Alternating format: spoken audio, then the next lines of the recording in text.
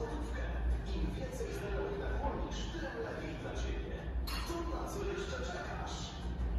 Więcej informacji w studiu i na McFit.com. Proud to be McFit.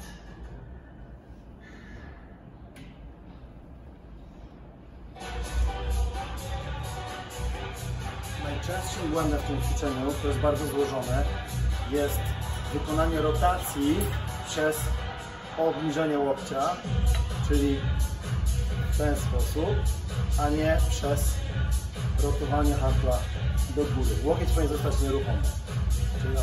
Uniesienie do góry, rotacja, wyciśnięcie na głowę i z powrotem. Trzymam łokieć wysoko,